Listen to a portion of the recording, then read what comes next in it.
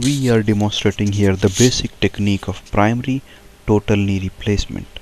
The extramedullary tibial alignment guide is applied. The ankle clamp or spring is applied just proximal to the malleoli. The telescopic rod runs parallel and slightly medial to the shin of the tibia and proximally it is located in the at the level of the medial third of the tibial tuberosity and it points towards the base of the second metatarsal. The extramedullary tibial rod should roughly lie at a distance of approximately one finger breadth away from the shin of the tibia proximally as is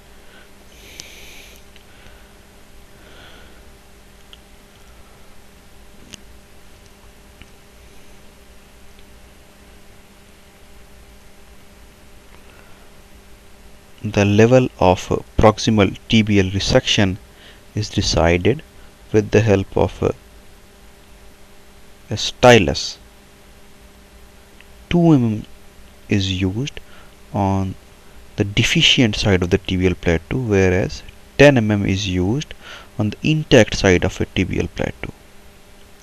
In a typical osteoarthritic knee, the medial tibial plateau is the deficient one and hence 2 mm is used on that side whereas 10 mm is used for lateral tibial plateau. The level of tibial resection is confirmed using C guide. These these two techniques may sometimes give different levels of resection and ultimately it is the surgeon who has to decide the appropriate level.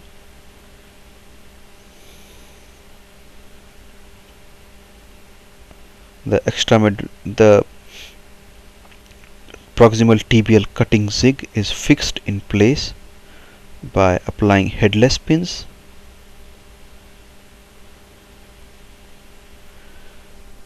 And the extramedullary tibial alignment guide is then removed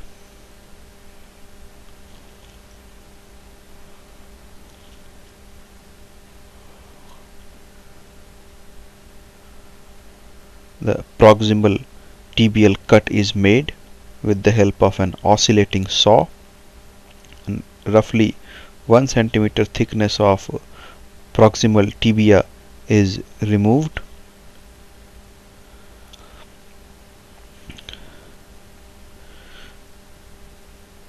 The extra the tibial cutting zig is removed. Now a pilot hole is made at the center of the intercondylar notch the tibial size is measured.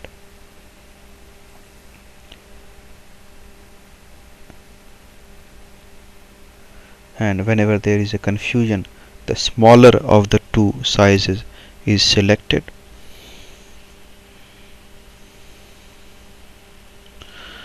pilot hole is made in the center of the intercondylar notch and roughly 4 millimeters anterior to the femoral insertion of the posterior cruciate ligament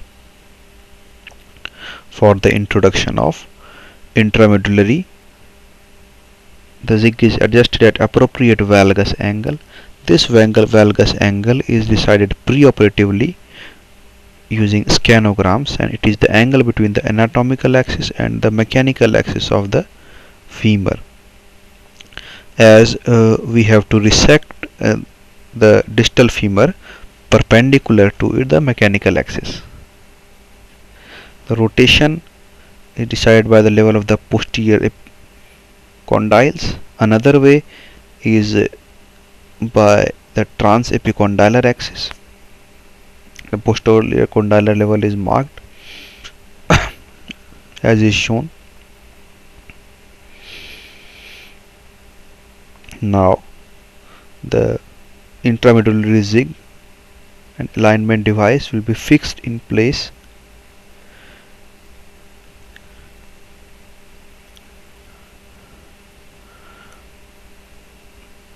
Using headless pins.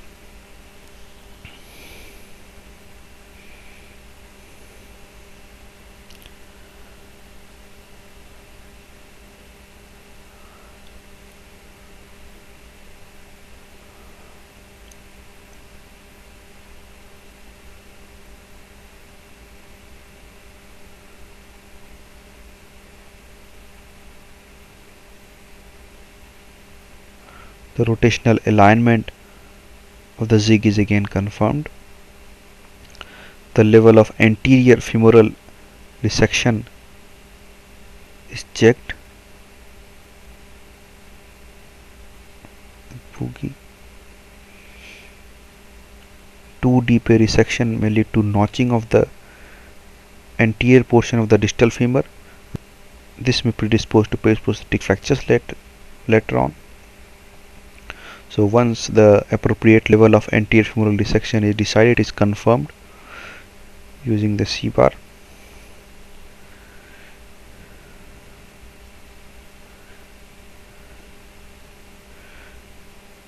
And anterior femoral cut is now made with oscillating saw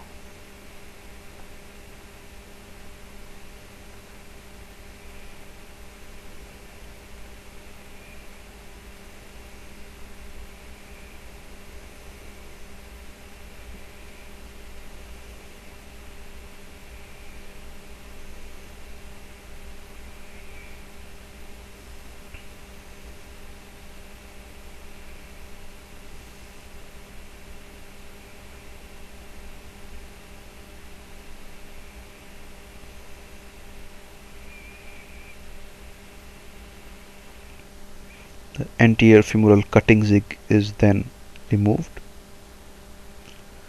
And zig for distal cut is fixed in place.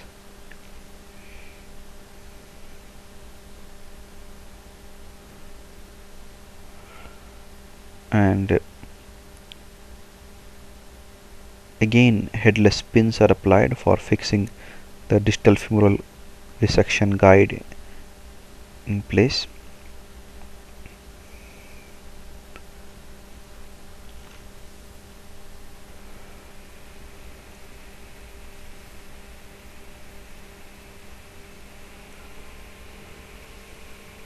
the intramedullary alignment device is now removed.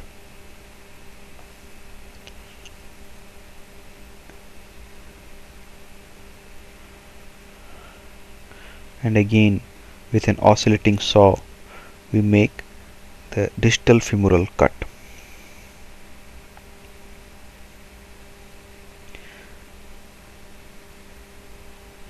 Again one should remember this cut is perpendicular to the mechanical axis of the femur and this cut should not injure the insertions of the uh, collaterals.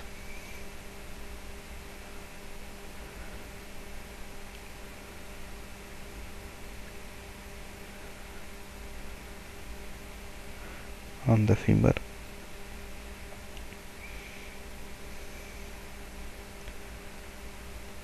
so we protect the collaterals with the help of uh,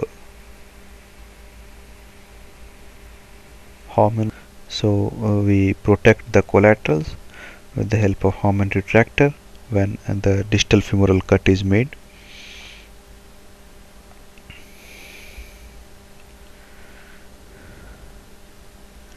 And it is important to ensure that the distal femoral cut is absolutely flat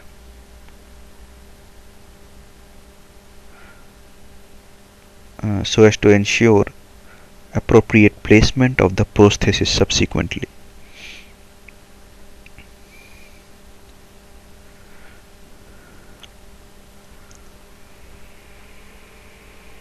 Now we may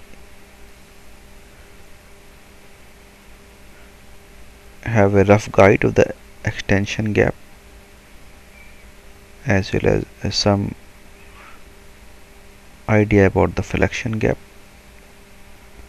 Now the sizing of the femoral component is done and the NT and the smaller of the two sizes is selected and zig is applied for uh, posterior cut and chamfer cuts posterior cut is now made.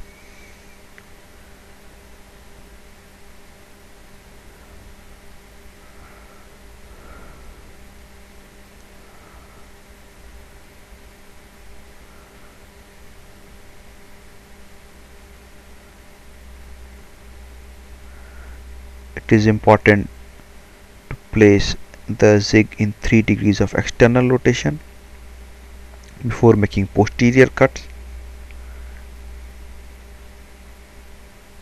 so as to ensure a uniform flexion gap. Now the anterior and posterior chamfer cut posterior chamfer cuts. Again it is important to protect the collateral ligaments each time these cuts are made otherwise they may be inadvertently injured.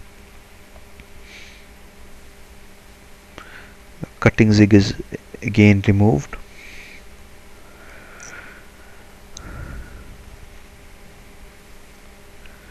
and zig for notch cut is applied and fixed in place using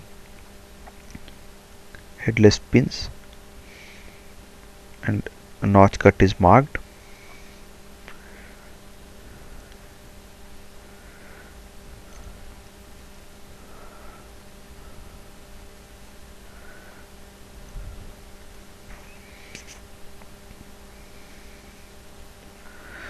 the notch cut guide is fixed in place using head the notch cut guide is uh, fixed in place using headless pins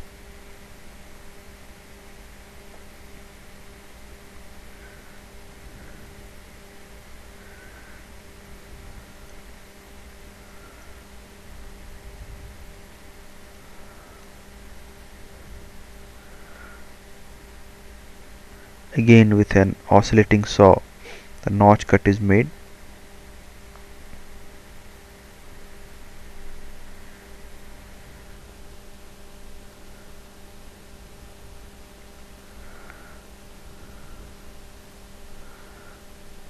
and the cut is usually completed with an osteotome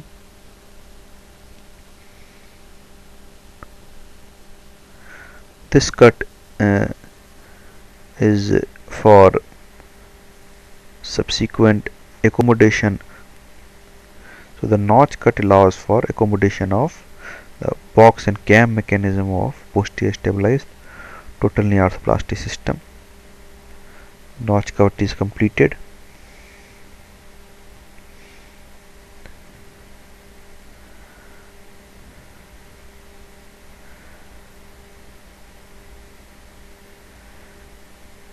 and gentle rasping is done of the trochlear flanges.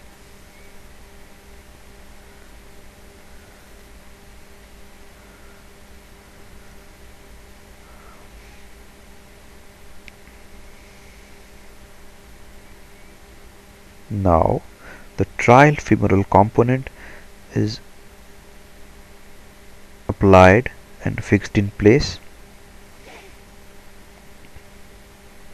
by gentle slapping.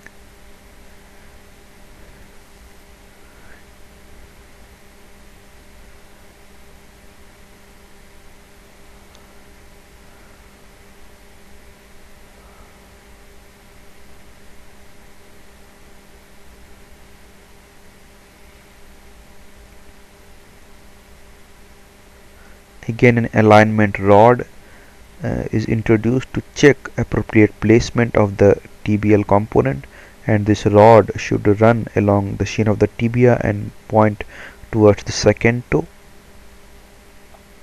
The trial tibial component is applied and the trial femoral component is also fixed using screws.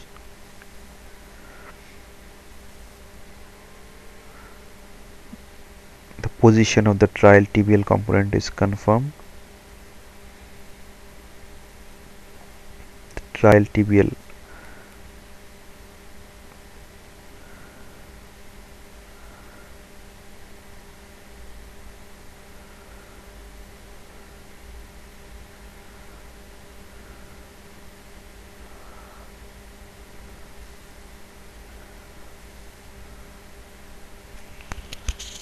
tibial preparation is done as shown here.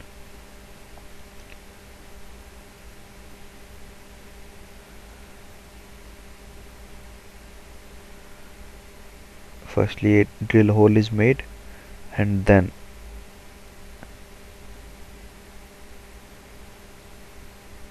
keel is used.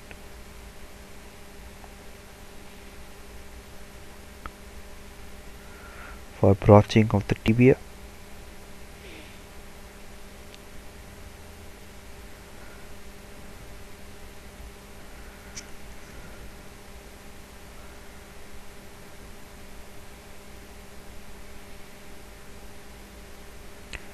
now the trial tibial insert is applied and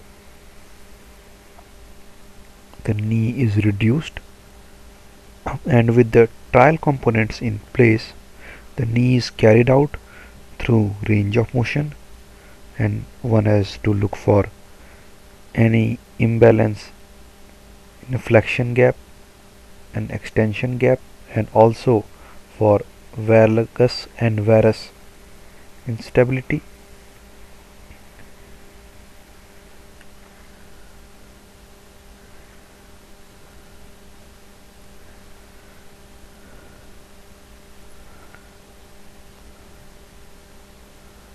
This completes the procedure